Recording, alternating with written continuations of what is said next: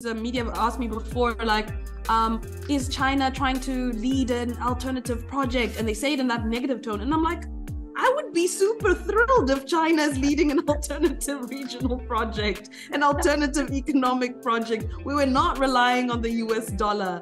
The rise of China and the different regional and political vehicles and economic um, opportunities it has provided has enabled us to make different choices and actually have choices